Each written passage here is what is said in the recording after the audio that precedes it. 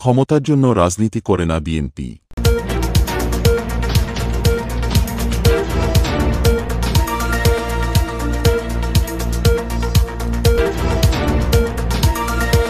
BNP গণতন্ত্রের জন্য রাজনীতি করে। বিএনপি একটি গণতান্ত্রিক রাজনৈতিক দল, আর ক্ষমতায় টিকে থাকার জন্য গণতন্ত্রকে গলাটিতে হত্যা করেছে আওয়ামী লীগ। দেশের মানুষ আজ একদিকে দ্রব্যমূল্যের ঊর্ধ্বগতিতে দিশেহারা। অপরদিকে আওয়ামী লীগের স্বৈরশাসনে নির্যাতিত। স্বৈরাচারী সরকারের পতন হবে, সেই সময় পর্যন্ত অপেক্ষা করতে হবে দেশের জনগণকে। বুধবার বিকেলে নরসিংদীর পলাশ উপজেলা ও ঘোড়াশাল পৌর বিএনপির আয়োজনে ইফতার ও দোয়া মাহফিলে প্রধান অতিথির বক্তব্যে এসব কথা বলেন বিএনপির স্থায়ী কমিটির সদস্য ও সাবেক মন্ত্রী ড. মঈন খান। এতে সভাপতিত্ব করেন ঘোড়াশাল পৌর বিএনপির সভাপতি আব্দুস সাত্তার।